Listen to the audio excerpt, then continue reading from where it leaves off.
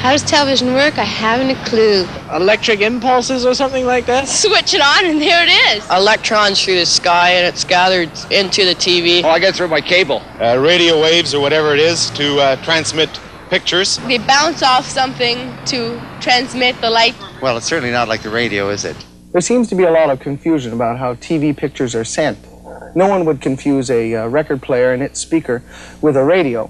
One is broadcast, the other isn't. Television is broadcast and received the same way as radio. Got it?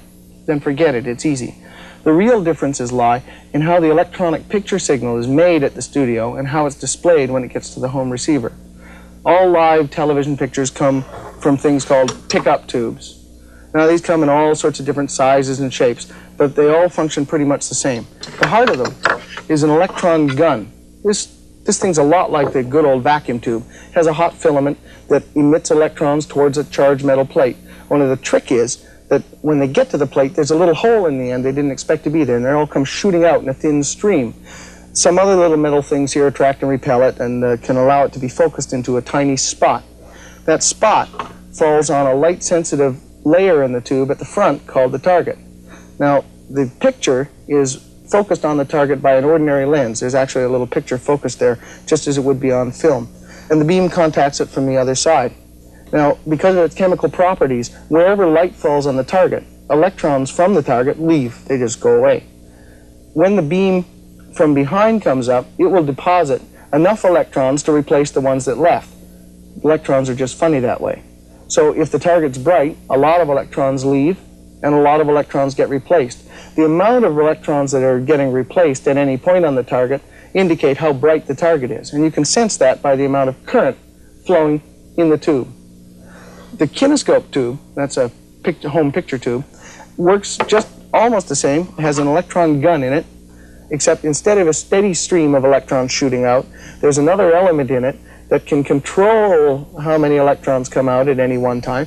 And also, instead of hitting a light sensitive layer, they hit a, a, chemical that glows brighter when more electrons hit it. And you guessed it, the signal from the target of the pickup tube is fed to the control signal here to brighten and darken the spot. Easy, huh? Well, I pulled a fast one on you. So far, the system's useless. All we have is a bright spot on the home receiver that gets brighter and darker depending on how bright and dark the TV studio is. To send a picture, you have to move that spot around somehow. Could move it around in a circle, diagonally anyway, but the way used in all systems is just simply logical. It starts up at the upper left of the picture, moves across to the right, blanks out, goes dark, jumps back to the left rapidly, and begins another trace, and continues on. In our system, we use 525 of those scanning lines. Some systems use 625, some use 819, some use 405. Notice that they all use an, an odd number of lines. That's because in television systems, the scanning is interlaced. Every other, every other scan is offset by a half line. It's easier than it sounds.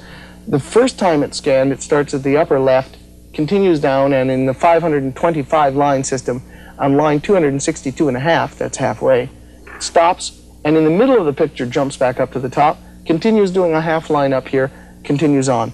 That gives an interlaced picture with 525 lines interwoven like that, except that the picture is scanned twice as often as it would be without the interlace trick, giving half the flicker.